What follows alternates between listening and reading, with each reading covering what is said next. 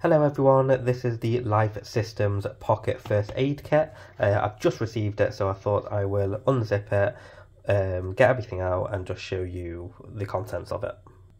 So inside this little pack which is super compact, uh, it's also, I believe it's water resistant or waterproof, it feels waterproof anyway, um, has fitted all of this in and it was actually quite nicely packed.